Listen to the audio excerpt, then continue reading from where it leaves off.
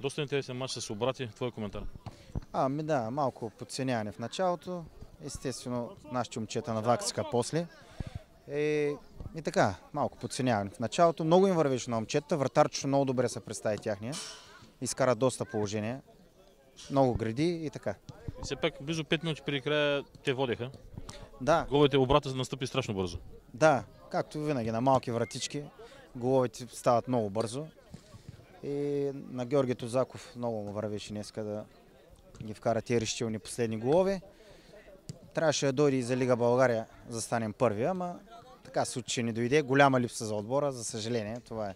А в този турнир до къде са ви амбициите? А, в този, да, първи, естествено, първи. Винаги първи, ако можем, да. Мерси.